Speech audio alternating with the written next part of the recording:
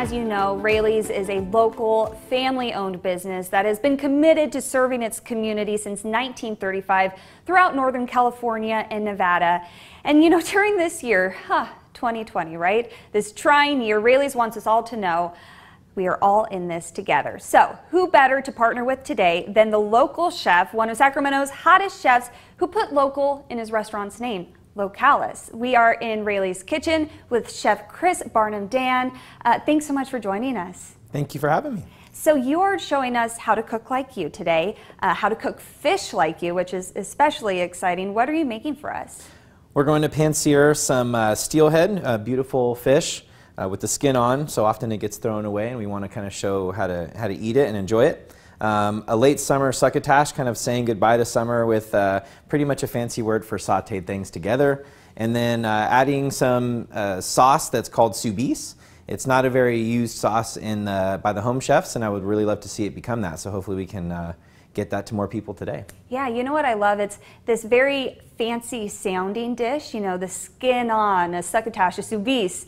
If people are coming over, that sounds, or you're cooking for your family, of course, yeah. that sounds very fancy, but it's actually pretty simple and it's all using ingredients that you can find at your local Raley supermarket, which is awesome. Yeah, definitely. I think um, fish is one of those things people get worried about cooking yeah. fish. Um, it's not very hard and um, it's fun and it's it is a cool way. We're gonna we're gonna showcase some uh, some stuff today that I think looks really beautiful. So try to create good presentation when you even if you're cooking for your seven year old daughter or son. You know, like make the food look amazing and beautiful, and they're probably gonna want to eat it more. So absolutely. Well, let's get started. Cool.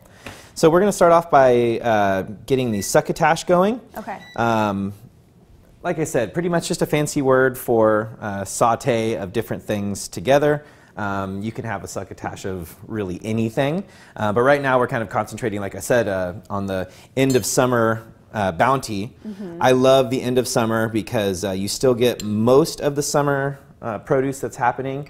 But uh, things get a little sweeter as the nights get a little cooler and the, and the drawing or the growing gets kind of drawn out a little bit. Okay. So it's a really fun time to to play with these ingredients. Yeah. So we're going to start by sauteing off some onions. Um, a trick that I use all the time is uh, salting your onions when you saute them um, because it actually extracts some moisture and uh, gives them a little bit better ability to get their flavors out uh, into whatever else you're sauteing with them. So. Okay.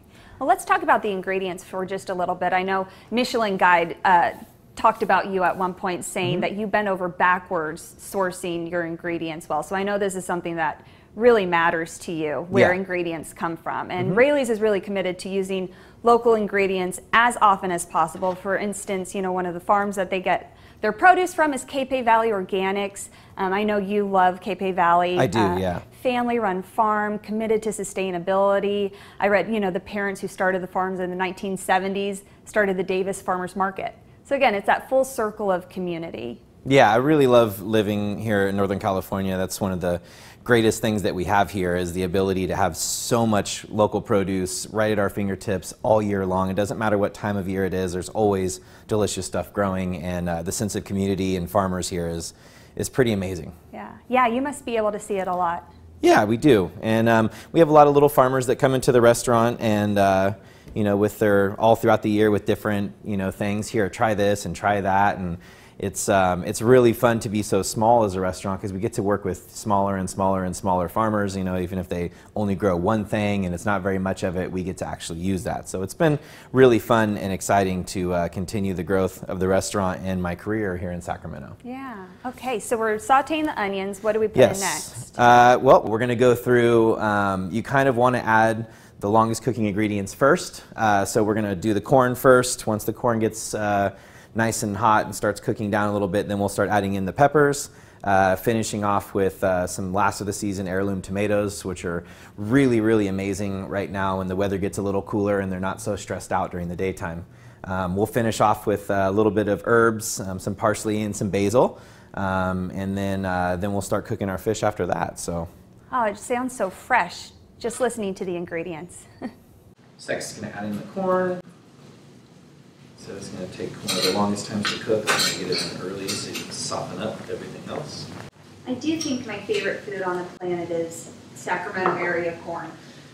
it's a, it's extremely good, and um, you know as the season goes on and uh, the plants have a little bit easier time growing, uh, you get really beautiful corn right at the end, and of course corn mazes afterwards. So Yeah. it's, it's all fun. I know you'd probably be proud to be serving this quality of food anywhere in the world, but what does it mean to you to be able to do it in Sacramento, in this area where you're rooted? Well, I mean, to be totally honest with you, the idea of competition is always something that's appealing to me. I love competition. Um, and if you want to be a chef cooking seasonal local stuff, there's not really a city in the world that's more prone to that than Sacramento. So it's really fun to be in Sacramento because we, we know good produce, you know. So when someone comes into your restaurant, um, they already know, you know, like, hey, that tomato better be the best tomato, or this, you know, has to be really good, or the corn has to be represented in a great way. So there's always that feeling, you know, that Sacramento is watching out for what you're serving. So it's really cool and unique experience to have a, a community so involved with where their food comes from, not just what they're eating right in front of them. You hear that? We have high expectations, Sacramento. Absolutely. So it's kind of fun, as you can see, uh, you know, we're getting into the beginning of fall, the end of summer, and uh, this succotash, uh, if you see the colors, very much looks like Halloween. You Yeah. know? So it's kind of fun.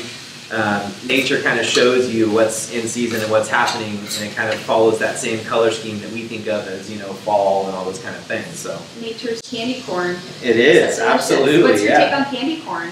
Um, Hot topic. It, it's a mood item for me. Yeah. Like I have to be in the mood to want to Okay. eat candy corn, but I don't. I'm not a hater. Uh, that's for sure.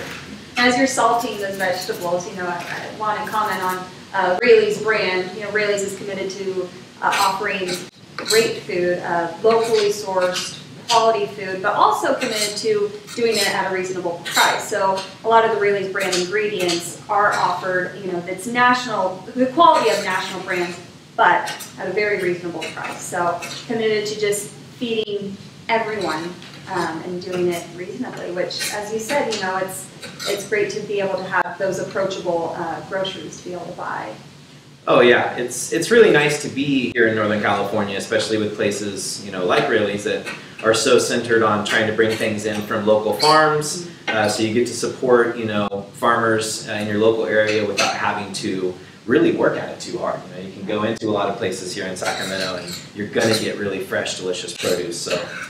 And adding the salt, something that I wanted to make sure to tell everyone is, is add your salt throughout the whole cooking process. That way it works itself into the, into the food. If you just salt afterwards, you're salting the outside only. So try to, if you can, remember to oftentimes just uh, season as you're cooking um, and then taste. Um, one thing that I, I, I do some cooking lessons here and there, and one thing that I'm constantly promoting is the fact that taste your food. Because so often you make it from a recipe or for something else, and then you don't taste it. And then you get down, and you're like, oh, it needs salt or it needs this, you know. So doing that ahead of time uh, is something very valuable. So how do you know that those are ready for the next step? Well, I'm just kind of watching. They're starting to get lightly translucent. Um, the onions were first. Uh, got those sweated down, which means no color and just cooked lightly. Um, then we added our corn in, and we kind of waited until that started changing color. Now my bell peppers are starting to get uh, really beautiful and a little bit soft, um, and that's the time where we're going to add in the last of the tomatoes of the season. Um, those obviously cook pretty quick, um, so we want to add those in at the very end. Um, I like doing dishes with no uh, starch. Um, I mean, there's plenty of starch in corn, um, so you kind of get that from it. But I think the old idea of having to have, you know, your protein, your starch, and your vegetables is a little outdated. And uh, I often find that I don't really, I'm not really searching for some of those things. So I kind of like when I get to do something like this that kind of caters to both uh, the starchy side of your meal and also your vegetable side. So. I'm sure health conscious people are appreciative of that too. Yeah, absolutely. You know, there's no reason to add all the extra stuff if you don't need to or if you're not looking for it. I like to eat pretty light because I eat a lot. so if I eat a lot of really heavy food, it doesn't work out very well. But so I'm gonna let this cook down just a little bit, and we're gonna get our fish going. Um, so this is gonna be kind of fun here. Yeah, so this is steelhead, and can you explain to people what steelhead is? Because there are some misconceptions. Yeah, it's it's a trout. Yeah. Um, but it looks a lot like a salmon and um, spends a lot more time fresh water than it does saltwater. Um, hopefully that fact checks out correctly. Um, but it's a, it's a local ingredient as well um, from the west coast, maybe not necessarily you know right off the coast of California, although there are steelhead you know around. Um, but just one of those fish that I think is uh, really appealing. It's a lot smaller than typical salmon, so if, you were getting a side of something, um, you can get a whole side of it, which is really nice, rather than a huge, huge uh, piece of salmon. So it's really tasty. It's delicate, and it's less fatty than uh, traditional salmon, so you get a little bit more uh, flavor with a little bit less fat out of it. And this steelhead in particular is wild caught. It's third party certified sustainable. Um, anytime you go to Raley's and buy seafood, it's either sustainably wild caught or uh, responsibly farmed. So again, you can go get your groceries, know that it's coming from a good, responsible place. Yeah, and that's nice, especially with seafood. You know, a lot of people are turned off by seafood because they've had bad seafood. So when you can get something that's really fresh and really clean, um, especially if you're you know doing good by the planet in the meantime, I think it's a really good thing. And uh, especially skin, like we talked about, Yes. so often it gets thrown away. I love crispy skin. Not every fish's skin can be cooked like this, um, but the scales are so small on, on steelhead that you can cook them right up. They'll be very crispy and delicious. And it also gives you a little barrier, so you've got to worry so much about your timing um, because there's a little bit of uh, protection against overcooking right away. Right, and that worries people a lot. I mean, fish is something that I think freaks a lot of people out, to be quite Yes. honest, when they're cooking at home. Uh, especially cooking with the skin on, even if you are comfortable cooking fish at home, cooking with the skin on might scare you a lot. So what is your technique that you're using? Well, um, use a high oil or a high temperature oil. We're using uh, grapeseed, very uh, neutral, doesn't have a lot of flavor, and uh, it's also uh, has a very high smoke point. And I waited until my smoke or my, my pan was just barely wisping a little bit of smoke. It's not like bellowing, obviously, and no discoloration. That's, that's bad flavor. Um, but if you get it in there, if you wait and wait and wait, that's the hardest part for people that don't cook a lot of fish. Is uh, you know you put the fish in and it sticks. Right. If it does stick, leave it. Turn it up, and it'll eventually form a, a- a crust and lift off the pan. So don't go in there and, and scrape your scrape your pan because So it tells you when it's ready. Pretty much, yeah. As far as as far as the sticking goes, but if you wait until that perfect time, you can see um, this is not a nonstick pan, and they're very fluid, moving around, so everything works there. And uh, we're gonna wait until I start seeing some brownness on the outside. Um, we're still using that high temperature, um, and at that same time, I am going to add uh, the herbs to our succotash over here. We don't want them cooked for long periods of time. We want to keep them nice and fresh. What a beautiful, colorful meal. Yeah, I try to. You know, that's like I said. If you you let nature do its thing, usually it'll give you wonderful uh, colors and flavors for anything that's in that time period. I threw a tiny bit of butter in there, um, just because you know, butter. Yeah. If you put your herbs in too early, uh, they tend to cook a lot of the flavor out, and you don't really get as much of it as you'd want. Um, this is a nice bright dish, you know, for the end of summer, beginning of fall. Um, so we try to throw those in at the very last minute. And so tell me about putting the butter in at the end with the herbs. Well, I, I don't want the, the butter to really get cooked into everything. I want it to just be kind of a sauce almost around the succotash. And if you add it at the very beginning, they will kind of start changing that, and uh, the butter will become part of the pan rather than part of the sauce at the end. So And you also mentioned you wanted to use a high uh, heat, high temperature oil, so that's probably. The butter might burn, is that? yeah, yeah. Or that was with the fish? Yeah, with the fish. On the succotash, not so much because we're, we're doing it fairly low heat, Okay. you know, throughout. We don't want any color on there. So um, I'm going to salt the top side of my fish, or the bottom side, I should say, just a little bit too. The skin was seasoned as well. Um, salt extracts moisture, so you don't want to season your skin too early because it'll draw moisture out and make it a little bit harder to sear your fish. So we will now flip this over. Now, for the folks at home who love fish, don't think they love fish skin, what can you say to convince them? Because fish skin done right is, I mean, it's so like a. good and crispy. Oh, it's so good. It's fish bacon, so that's that's how you could get people to eat it, right? If you call it bacon, people are going to eat it for sure. So, uh, so now I don't want to cook it too much. Um, I'm going to go ahead and shut my succotash off. That's finished, and uh, now we're going to add some butter. Now, what we're doing with this is uh, I'll turn the heat off completely now. because the pan's going to stay hot enough. And we're just going to lightly uh, baste the fish and uh, send some of that very hot oil now with some butter over the top. Uh, because the temperature is so high, it'll continue to crisp up the skin a little bit and give it a really nice glossy finish um, that we're looking for. One thing about fish often is it gets overcooked a lot. Um, so don't be afraid to eat, you know, especially when it's this fresh and this beautiful. You Right. could eat it raw, so why overcook it? You know, leave yourself a little bit of uh, room. And you often see chefs basting their uh, meat and fish. Why, what does basting do? It adds flavor. You're, you're incorporating flavored ingredients over the top of it. Um, even now, you know, we can add in just a little bit of lemon juice, continue our basting. And this is an easy thing. It, it looks scary, you know, you see chefs in these restaurants doing this. It's so easy. Just tilt your pan back. Uh, you should leave your heat on if you're going to baste for long amounts of time because the butter and the oil and whatever else you have in there will eventually cool down and then you're not cooking anymore. Um, but it's a great way to add some flavor, and as you can see, the skin uh, has really beautiful glossiness to it, so it's very appealing to have that fat layer on top of there. Yeah, it's gorgeous. Yeah, so we'll get those out. That's ready to go. Um, here we have uh, sauce soubise.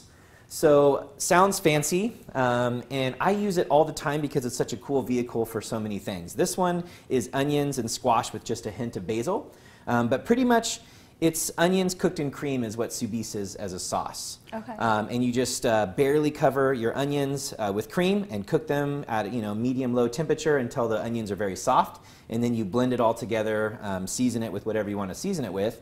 But you can start adding in things from all different times of year. So you can do butternut squash, you can do summer squash like this one. Um, I mean, we've done soubises of pretty much any vegetable out there. So it's a really fun sauce. Yeah.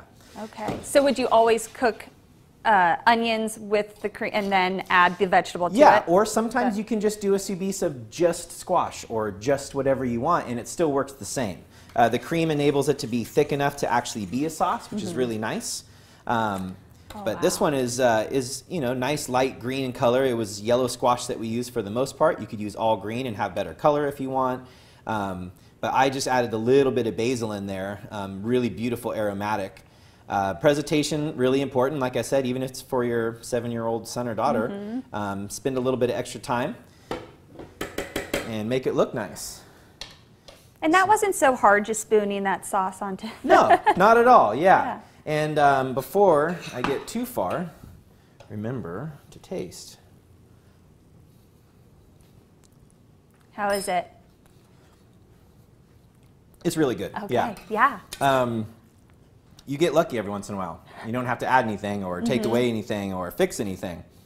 So Well, if it's not broken, you know, those vegetables, Exactly, exactly. I If you get quality produce, you're just that really is the thing. The more you cook in season, the easier it is to make food taste really good. You know, it's not hard when your ingredients start out so good. So- right. None of these are ingredients you want to hide. You shouldn't use ingredients you want to hide, right? Exactly. yeah. Oh, how beautiful is that? And uh, you know, lemon and fish is such a thing, but Mm-hmm. uh, it won't really hurt your skin too much to have just a little bit of lemon on there to brighten up a fish. And there we go. I wish you could all smell this at home. And just to re, you know reiterate, you can cook like a chef, like one of Yeah. the best chefs in Sacramento. Make it look this beautiful, and you're getting quality, locally sourced ingredients from Raley's. Um, and you know, again, to reiterate, we are all in this together. Yeah. The restaurant industry has had a tough year, so we cannot stress enough. Support local when you can. When you can go out and eat, you know, support locally owned restaurants. And when you want to shop for groceries, cook yourself a nice meal at home. Shop local, shop Raley's. And you know, when you're eating at Localis, when you're shopping from Raley's, you're not just supporting one business, you're supporting, supporting the farms. You're supporting um, the nonprofits that each of you give back to. So Absolutely. It's a long chain of people that are affected by this. So it's it's always good to remember that it's not just the restaurant, it's not just the store, it's not just the purveyor, it's not just the farmer. The line of people goes so far in our food culture Um, that it is very, very important. And something like this, you know, like uh, is very easy to put together, and all of you can make that at home, no problem. And this is a great dish to make because we wouldn't serve this in our current to-go menu because the skin wouldn't be crispy when you get home. So certain things that we don't do because of travel uh, restrictions. Um, so those are definitely the meals that you should make at home. And uh, it's easy, and don't be afraid. And um, know that you're probably going to mess up. It's not like we don't mess up. I could have messed this up today. You know? so that's just what happens. But take a chance, learn something new, and uh, and cook for your family and make them eat it. I know my boys don't want to try anything like this, but after they try it, you know, they do the whole like, I don't know, I like it a little bit, you know, Right. but then they end up eating the whole plate. So Yeah. So bottom line, when you eat and when you shop local, everybody wins, absolutely, especially the ones eating it. yeah.